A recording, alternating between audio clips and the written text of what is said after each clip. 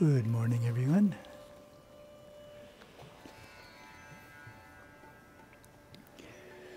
We have a new talk this morning in our Merging with Siva series, going through the lessons in chronological order. We're up to 1961. Got a few more years to go here. this talk is called The Eternal Now, given at the San Francisco Temple. And then Saturday and Sunday have some information drawn from the early 1970s. And we have a story from the Guru Chronicles. Haven't had a story for a while because we were stuck on 1960. so now we have a story from 1961. Gurudeva and the monastics traveled frequently throughout California, lecturing, teaching Hatha Yoga and Raja Yoga, the Upanishads, and other Hindu scriptures and presenting the lessons of the World Fellowship of Yoga, correspondence course that hundreds were enrolled in and studied daily. They spoke at colleges, in homes, and often in Episcopal or Unitarian church facilities, whose doors were always open. They held summer camps for families and children and, in 1961, instituted a dynamic prison outreach program visiting prisoners in their cells to teach Eastern ideals and the basics of yoga. Many inmates at Folsom, San Quentin, Vacaville, and other institutions found solace and a new awakening to spiritual life through these efforts. Funny story about that. Gurudeva once mentioned that I think it was in Folsom. He was asked if he was going to teach levitation. they didn't want him to teach levitation, so he thought that was funny. You can see the understanding of yoga back then. Yoga is levitation. hey, lesson 113. You only have a minute. It starts by quoting a poem. You have only just a minute, only 60 seconds in it. Didn't want it, forced upon you. Can't refuse it, didn't seek it, didn't choose it. It is up to you to use it. You must suffer if you lose it, give account if you abuse it. Just a tiny little minute, but eternity is in it. For not to love is not to live, and not to give is not to live. Then we get Gurudeva. There is really very little to be said intellectually about the eternal now. You have to live in it, and in living in it, you discover a higher state of consciousness than you have experienced in your life. Because the vibration of the eternal now is so very high, part of your mind and nature does not like to experience the security of the eternal now, which is really the height of security. It takes practice to maintain a continued experience of the eternal now.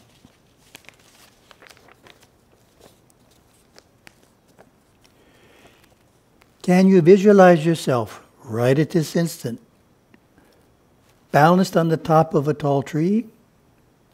If the tree were to bend too far forward, you would fall to the ground or down into time and thought. If it were to bend too far back, you would again fall. Forward is the future, backward is the past. Balanced on the top of the tree, you can look out over the countryside and enjoy everything you see. But if you stop to think about one thing of the past, you would become so engrossed in what you are thinking about that you again fall to the ground you find that you cannot live in a thinking consciousness balanced so high. Here you live in the eternal now, with great awareness of what is around you and within you, but with no thought of it.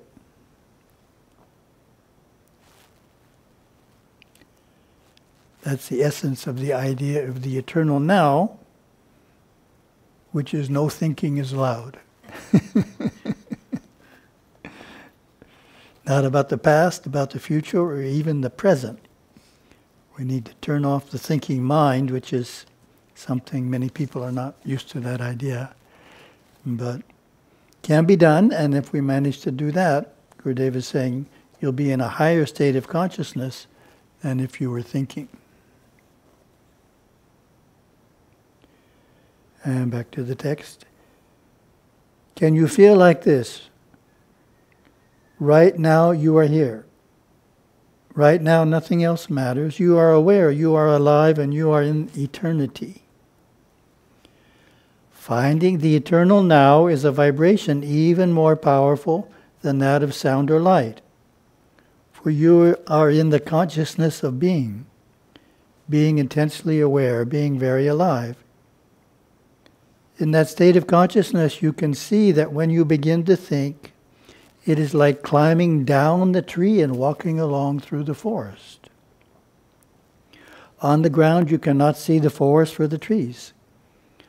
On the top of the tree, you can see the entire forest and enjoy it.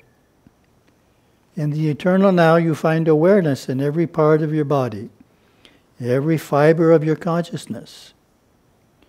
Your life depends upon your awareness. Here you can enjoy seeing the birds fly by, the waterfall, the countryside. You can enjoy all that, but you dare not stop to think upon the flight of one bird, because you would become too engrossed in thought and fall into a lower state of consciousness. That bird might remind you of a pet bird you had at home, and the thinking mind will go on and on, landing you on the ground. When you become aware and start living in eternity, in the eternal now, you find that eternity is within you. Then you can see there is no life, nor is there any death. You have transcended even the laws of reincarnation in that state, holding the consciousness of eternity, for you are beyond the soul which reincarnates and creates a new form around itself. Oh, my comment. Gurudeva said, when you begin to think, it is like climbing down the tree and walking along through the forest.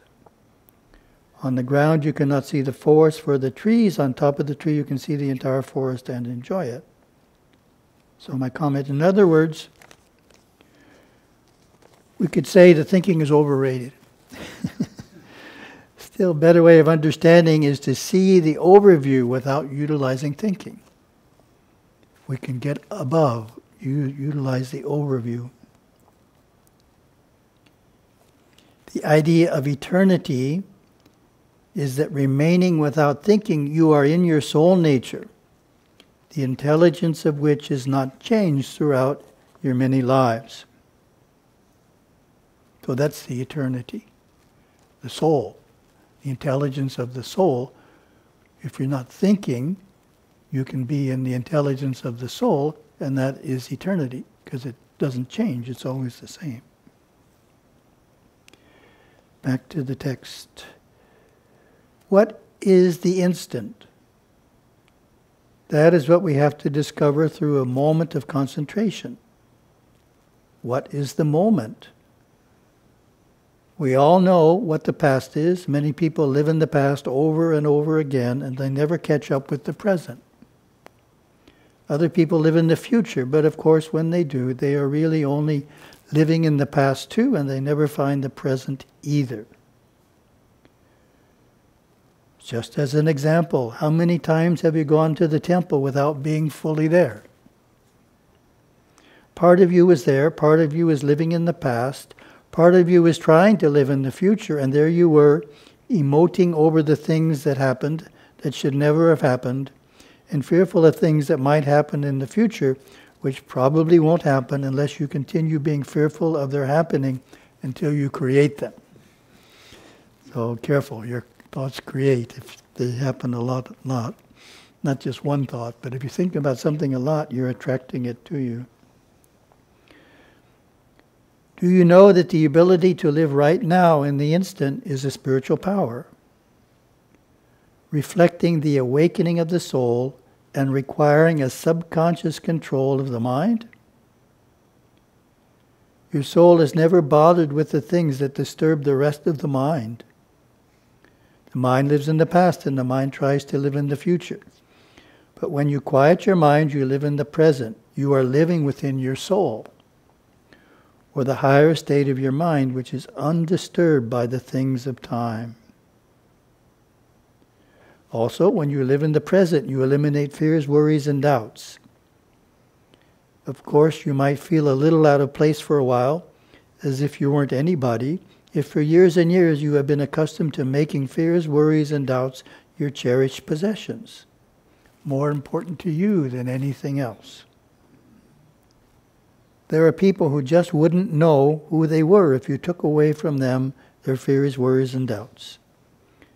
But if you want to be somebody, something, a state of being, you want to live in the eternal now. There is a simple formula for attaining the eternal now. If you can remember it, you can center yourself within yourself very quickly and experience living right now, this instant. Imagine yourself now worried, bothered, and disturbed.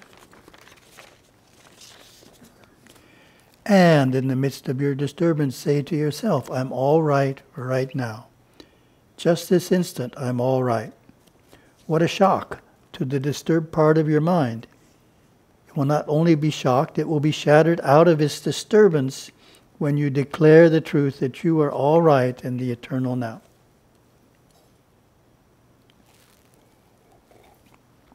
Then we get my last comment.